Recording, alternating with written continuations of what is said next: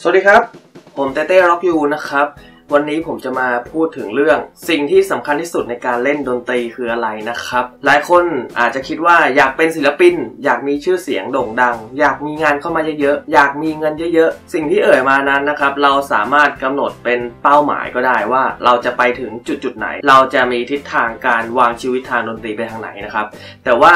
สิ่งที่สำคัญที่สุดในการเล่นดนตรีก็คือความสุขในการเล่นนะครับ ความสุขนะครับเป็นสิ่งสำคัญในชีวิตนักดนตรีนะครับ นักดนตรีหลาย ๆ คนเนี่ยอาจจะไม่มีชื่อเสียงโด่งดัง อาจจะไม่มีคนรู้จัก เขาอาจจะเล่นกีตาร์อยู่ในห้อง หรือว่าไปเล่นตามงานโรงเรียนกับเพื่อนๆ เขาก็มีความสุขแล้วนะครับ ผมยกตัวอย่างนะครับ มีพี่ๆหลาย ๆคนนะครับ ซึ่งเป็นรุ่นพี่ผมอายุก็เยอะแล้วนะครับ เรียนกีตาร์กับผม เขาเอากีตาร์ตัวโปรดของเขามาเรียน แล้วเขาก็อยากเล่นเพลงแนวยุคเก่าที่เขาชอบนะครับ เป็นแนวสากลเก่าๆ เพลงไทยเก่าๆ พอผมแนะนำแล้วก็สอนเขาในบทเพลงที่เขาอยากเล่นนะครับเขาเล่นออกมาได้อย่างมีความสุขมากนะครับในบทเพลงที่เขาชื่นชอบ ไม่จำเป็นต้องเล่นเพลงตามกระแส